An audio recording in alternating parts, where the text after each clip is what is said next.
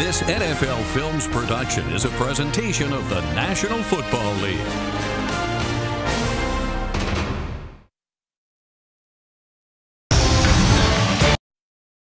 All of them are fearless.